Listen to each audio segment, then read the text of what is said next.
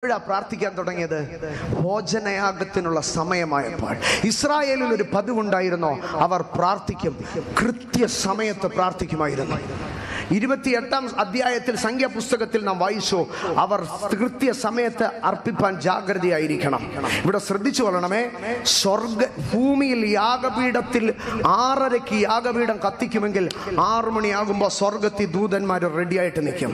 അരമണിക്കൂർ അവർ സൈലന്റായി നിൽക്കുകയാ. ആറരയ്ക്ക് പ്രാർത്ഥന തുടങ്ങുമ്പോൾ സന്ധ്യായാഗത്തിന് സമയത്തിന് പ്രാർത്ഥന തുടങ്ങുമ്പോൾ ധൂപം സ്വർഗത്തിലേക്ക് പോകുമ്പോൾ ദൂതൻ യാഗപീഠത്തിന് കല കനലെടുക്കുക. കലശത്തിലിട്ട് ഭൂമിയിലേക്ക് എറിയ.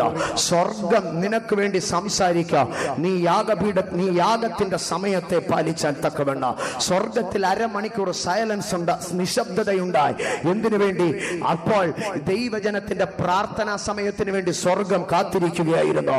ഇന്ന് രാത്രി നീ അറിഞ്ഞുകൊള്ളണം. നിന്റെ പ്രാർത്ഥനാ സമയത്തിന് വേണ്ടി സ്വർഗം മൗനമായിരിക്കുക നിന്റെ പല വിഷയങ്ങളിലും നീ ദൈവം മൗനമാണെന്ന് നീ പറയുന്നു. കാരണം ദൈവ യാഗപീഠത്തിൽ യാഗത്തിന്റെ സമയങ്ങളിൽ കടന്നു വരാറുണ്ട്.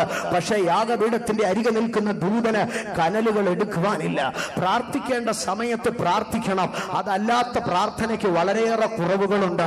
നാം തിരുവഴുത്തിലേക്ക് കടന്നു വരുമ്പോൾ യേശു കർത്താവിന്റെ പ്രാർത്ഥനയിലെ ഒരനുഭവത്തെ വരുമ്പോൾ മർക്കോസിന്റെ സുവിശേഷം പതിനാലാം അധ്യായത്തിൽ യേശു കർത്താവ് ഗച്ചമന തോട്ടത്തിലേക്ക് കടന്നുപോയി. യേശു കർത്താവ് ഗച്ചമന തോട്ടത്തിലേക്ക് കടന്നുപോയി. അവിടെ ശിഷ്യന്മാരെ വിട്ട് ഒരു കല്ലേറു ദൂരം മാറിപ്പോയിരുന്നു. എന്നിട്ട് ശിഷ്യന്മാരുടെ അടുക്കൽ പറഞ്ഞു നിങ്ങൾ ഉണർന്നിരുന്ന് പ്രാർത്ഥിക്കണം. മർക്കോസിന്റെ സുവിശേഷം പതിനാലാം അധ്യായം മുപ്പത്തിനാലാം വാക്യത്തിലേക്ക് വരുമ്പോൾ യേശു ശിഷ്യന്മാരുടെ അടുക്കൽ പറഞ്ഞു നിങ്ങൾ ഉണർന്നിരുന്ന് പ്രാർത്ഥിക്കണം. അങ്ങനെയല്ലേ? വേഗത്തിൽ ആ ഭാഗം മാത്രം ഒന്ന് വായിച്ചു ഇവിടെ പാർത്ത് ഉണർന്നിരിപ്പിൻ എന്ന് അവരോട് പറഞ്ഞു. യേശു പതിനാലാം അധ്യായം മുപ്പത്തിനാലാം വാക്യത്തിൽ നിങ്ങൾ ഇവിടെ ഉണർന്നിരിക്കണം അല്ലെങ്കിൽ പ്രാർത്ഥിക്കണമെന്ന് പറഞ്ഞു. യേശു പോയി പ്രാർത്ഥിച്ചു. തിരിച്ചു വന്ന് മുപ്പത്തി ഏഴാം വാക്യത്തിൽ അവർ ഉറങ്ങുന്നത് കണ്ടു. യേശു അവരെ ശാസിച്ചു. ആ ഭാഗം വേഗത്തിൽ പിന്നെ അവൻ വന്ന് അവർ ഉറങ്ങുന്നത് കണ്ട് പത്രോസിനോട് ശിമോനെ നീ ഉറങ്ങുന്നവോ? ഒരു നാഴിക ഉണർന്നിരിപ്പാൻ നിനക്ക് കഴിഞ്ഞില്ലയോ? മതി. മുപ്പത്തി എട്ടാം വാക്യത്തിലേക്ക് വരുമ്പോൾ പിന്നെയും യേശു വന്ന് ശാസിക്കുന്നു. മുപ്പത്തിനാലാം വാക്യത്തിൽ യേശു പറയുന്നു ഇത് പ്രാർത്ഥിക്കാനുള്ള സമയമാ. നിങ്ങൾ ഉണർന്നിരുന്ന് പ്രാർത്ഥിക്കണം. മുപ്പത്തി ഏഴിലും മുപ്പത്തി എട്ടിലും വായിക്കുമ്പോൾ യേശു മടങ്ങി വന്നിട്ട് ആ പ്രാർത്ഥനാ സമയത്ത് അവരിരുന്ന് ഉറങ്ങുന്നത് കണ്ടിട്ട് തട്ടി ഉണർത്തിയിട്ട് പറഞ്ഞു ഇപ്പൊ ഉറങ്ങരുത്. ഇത് ഉറങ്ങാനുള്ള സമയമല്ല. നിങ്ങൾ ഒരു മണിക്കൂർ ഉണർന്നിരുന്ന് പ്രാർത്ഥിക്കണമെന്ന് പറഞ്ഞു. യേശു പോയി. യേശു പോയി ആ ഒരു നാഴിക പ്രാർത്ഥിച്ചു. മടങ്ങി വന്നു. ശിശുമാർ പെട്ടെന്ന് ഉണർന്നെഴുന്നേറ്റ്. അയ്യോ കർത്താവെ ഞങ്ങൾ പ്രാർത്ഥിച്ചില്ലെന്ന് പറഞ്ഞു. യേശു എന്തോ പറഞ്ഞെന്നറിയാം? നാൽപ്പത്തി ഒന്നാം വാക്യം. വായിക്കാമോ? അവൻ മൂന്നാമത് വന്ന് അവരോട് ഇനി ഉറങ്ങി ആശ്വസിച്ചു കൊള്ളി ഇനി ഉറങ്ങി ആശ്വസിച്ചുകൊള്ളേ. മതി. ഇനി ഉറങ്ങി ആശ്വസിച്ചു നമ്മൾ പ്രാർത്ഥിക്കേണ്ട സമയത്ത് പ്രാർത്ഥിച്ചില്ലെങ്കിൽ പിന്നെ നമ്മൾ പ്രാർത്ഥിക്കാൻ എഴുന്നേൽക്കുമ്പോൾ കർത്താവ് പറയുന്നത് എന്താണെന്ന് അറിയാം വേണ്ട ഇനി ഇനി പ്രാർത്ഥിക്കേണ്ട. സമയം കഴിയും. ഇന്ന് രാത്രി ദൈവമക്കൾ അറിയണം. പ്രാർത്ഥിക്കാനൊരു സമയമുണ്ട്. പ്രാർത്ഥിക്കാനൊരു സമയമുണ്ട്. എന്നാൽ ഇന്ന് അനേക കുടുംബങ്ങളിൽ ഈ അനുഭവമില്ല. അനേക വ്യക്തികളിൽ ഈ അനുഭവമില്ല. പ്രാർത്ഥിക്കുന്നുണ്ട് പക്ഷെ പ്രാർത്ഥനയ്ക്കായി വ്യക്തമായ ഒരു സമയം നിയമിച്ചിട്ടില്ല. ദൈവത്തിന് മഹത്വം ഉണ്ടാകട്ടെ എവിടെയാണ് ജീവിതത്തിൽ അത്ഭുതങ്ങൾ നടക്കുന്നത്? അത്ഭുതങ്ങളുടെ പിമ്പിൽ പ്രാർത്ഥനയുടെ കൃത്യനിഷ്ഠയുണ്ട്. വേഗത്തിൽ വായിക്കണേ. അപ്പോസ്തല പ്രവർത്തികളുടെ പുസ്തകം മൂന്നാം അധ്യായത്തിലേക്ക് കടന്നു വരുമ്പോൾ അവിടെ പിറവിയിലെ ജന്മന മുടന്തനായ ഒരു മനുഷ്യൻ എഴുന്നേറ്റ് നടക്കുന്നു. അവിടെ ജന്മന മുടന്തനായ ഒരു മനുഷ്യൻ എഴുന്നേറ്റ് നടക്കുന്നു. പൊന്നും വെള്ളിയും കൊണ്ടല്ല ശക്തിയും ബലവും കൊണ്ടല്ല ഭക്തിയും ശക്തിയും കൊണ്ടല്ല. പിന്നെ എന്തുകൊണ്ടാണ്? അതിന്റെ പിമ്പിൽ വ്യാപരിച്ചത് യേശുവിന്റെ ശക്തിയാണ്. പക്ഷേ ആ അത്ഭുതത്തിനായി യേശുവിന്റെ ശക്തി അവിടെ വ്യാപരിപ്പാനുള്ള കാരണം പഠിക്കുമ്പോൾ അപ്പോ ചില പ്രവർത്തികളുടെ പുസ്തകം മൂന്നാം അധ്യായം അതിന്റെ ഒന്നാം വാക്യം വായിക്കുമ്പോൾ വായിക്കാമോ? ഒരിക്കൽ പത്രോസും യോഹനാനും ഒൻപതാം മണി നേരം പത്രോസും പത്രോസും യോഹനാനും ഒമ്പതാം മണി നേരത്ത് പ്രാർത്ഥനാ സമയത്ത് പ്രാർത്ഥന സമയത്ത് ദൈവാലയത്തിലേക്ക് ചെല്ലുമ്പോൾ സ്തോത്രം. അവിടെയാണ് ആ മുടന്തനെ കാണുന്നത്. അവിടെയാണ് എഴുന്നേൽപ്പിക്കുന്നത്. പത്രോസും ഒൻപതാം മണി നേരം എന്നുള്ളത് ഇസ്രായേലിന്റെ യഹൂദന്റെ പ്രാർത്ഥനാ സമയമായിരുന്നു. ഈ പ്രാർത്ഥനാ സമയത്ത് ഒൻപതാം ഒമ്പത് മണിയുടെ പ്രാർത്ഥനയ്ക്ക് ഒമ്പത് മണിക്ക് തന്നെ ഈ ഭക്തന്മാർ പത്രോസ് യോഹനാനും കടന്നു ചെന്നു. അവരുടെ മുമ്പിൽ ഒരു മുടന്തനുണ്ടായിരുന്നു അവർ അവനെ കൈപിടിച്ച് എഴുന്നേൽപ്പിച്ചു. അവന്റെ മുടന്ത് മാറി ഒരത്ഭുതം അവിടെ സംഭവിച്ചു. ഇന്ന് രാത്രി രാത്രികാലം ഇവിടെ അനേകരും പറയുന്നുണ്ട് ഞങ്ങളും പ്രാർത്ഥനാ സമയത്താണ് ഫൈത്തോമി പോകുന്നത്. ആരാധനയ്ക്ക് എപ്പോഴാ പോകുന്നത്? ആരാധനാ സമയത്ത് തന്നെ. ആരാധന ഒമ്പതരയ്ക്ക് തുടങ്ങും. ഞങ്ങൾ എപ്പോഴും ആരാധനയ്ക്ക് പോകുന്നത്? ഞങ്ങളും ഒമ്പതരയ്ക്കാണ് വീട്ടിൽ നിന്ന് ഇറങ്ങുന്നത്. പ്രിയരെ ഒമ്പതരയുടെ ആരാധനയ്ക്ക് ഒമ്പതരയ്ക്ക് വീട്ടിൽ നിന്ന് ഇറങ്ങിയാ പോരാ. നീ ആ പ്രാർത്ഥന സമയത്ത് ദൈവാലയത്തിൽ പോകുന്ന പ്രാർത്ഥനാ സമയത്തിന് നിന്റെ ജീവിതത്തിൽ ക്ലിപ്തതയുണ്ടോ? നിന്റെ സഭാരാധന ഒമ്പതരയ്ക്ക് ആരംഭിക്കാം കഴിഞ്ഞ ഞായറാഴ്ച ഒന്ന് എടുത്തു നോക്ക്. നീ സഭാരാധനയ്ക്ക് എത്ര മണിക്കാ പള്ളി കയറിയത്? സഭാരാധനയ്ക്ക് എത്ര മണിക്കാ നീ ആരാധനയ്ക്ക് ഇരുന്നത്?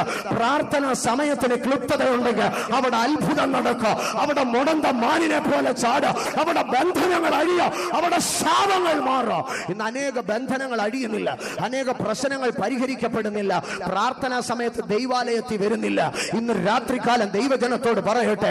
നീ പ്രാർത്ഥനാ സമയത്ത് ആലയത്തിൽ വന്നു നോക്ക്. സ്വോത്രപ്പാട്ട് പാടുന്നതിന് മുമ്പ് നിന്റെ മുഴങ്കാലുകൾ ദൈവസന്നിധിയിൽ മടങ്ങിയിരിക്കട്ടെ. നിന്റെ ജീവിതത്തിൽ നീ അത്ഭുതങ്ങളെ കാണും എന്നാൽ ഇന്ന് ദൈവസഭയിൽ ആരാധനയുടെ മധ്യഭാഗം കഴിഞ്ഞു പോകല ആരാധനയ്ക്ക് കടന്നു വരുന്നവർ സംഭവം വന്നുകൊണ്ടിരിക്കുകയാണ്. അറിയണമേ അത്ഭുതം നടക്കത്തില്ല. ഒന്ന് ദൈവാലയത്തിലെ പ്രാർത്ഥനാ സമയത്തിന് കൃത്യനിഷ്ഠയുണ്ടാകണം. സ്തോത്ര. സമയം ചുരുക്കം കൊണ്ട് ഞാൻ വേഗത്തിൽ പോവുകയാണ്. പക്ഷേ ദൈവാലയത്തിൽ പോകാൻ സഭയെ പോകാൻ മാത്രം ഈ കൃത്യനിഷ്ഠ ഉണ്ടായാൽ പോരാ. അപ്പോസല പ്രവർത്തികളുടെ പുസ്തകം പത്താം അധ്യായം മുപ്പതാം വാക്യത്തിലേക്ക് വരുമ്പോൾ അപ്പോസല പ്രവർത്തികളുടെ പുസ്തകം പത്താം അധ്യായം മുപ്പതാം വാക്യത്തിലേക്ക് വരുമ്പോൾ അവിടെ കുറന്നല്ലിയോസ് ഒരു കാര്യം പറയുകയാണ്. അതിന് കൊറന്നല്യോസ് നാലാതും നാൾ. ഈ നേരത്ത് ഞാൻ വീട്ടിൽ ഒമ്പതാം മണി നേരത്തെ പ്രാർത്ഥന കഴിച്ചുകൊണ്ടിരിക്കുമ്പോ വീട്ടിൽ ഒമ്പതാം മണി നേരത്തെ പ്രാർത്ഥന വീട്ടിൽ ഞാൻ ഒമ്പതാം മണി നേരത്ത് തന്നെ കഴിച്ചോ. സന്ധ്യാപ്രാർത്ഥന എത്ര മണിക്കാ? ഇന്ന് രാത്രി ഇവിടെ ഇരിക്കുന്ന എത്ര ദൈവ മക്കൾക്ക് പറയാൻ കഴിയോ? സന്ധ്യാപ്രാർത്ഥന ഇത്ര മണിക്കാ ഞങ്ങൾ പ്രാർത്ഥിക്കുന്നതെന്ന്. സന്ധ്യാപ്രാർത്ഥന ഉണ്ടോ? ഉണ്ട്. എപ്പോഴാ? ആഹാരമൊക്കെ കഴിഞ്ഞിട്ട് പിള്ളേർ പഠിച്ചൊക്കെ കഴിഞ്ഞിട്ട് എപ്പോഴെങ്കിലും? ഇല്ല. കുറന്നില്ലോസ് പറയുന്നു. ഒമ്പത് മണിക്ക് ഞാൻ വീട്ടിൽ പ്രാർത്ഥിക്കാനിരുന്നു. ഇന്ന് രാത്രി മടങ്ങി പോകുമ്പോൾ ഒരു തീരുമാനമെടുക്ക. കുടുംബ പ്രാർത്ഥന മുടങ്ങാതെ നടത്തുമെന്നല്ല ഒരു കൃത്യ സമയം വെച്ച് ഞാൻ പ്രാർത്ഥിക്കാം അവിടെ കുറന്നില്ലോസ് പറയുകയാണ് നാല് ദിവസം മുമ്പ് ഞാൻ വീട്ടിൽ കൃത്യ സമയത്ത് പ്രാർത്ഥിക്കാനിരുന്നു.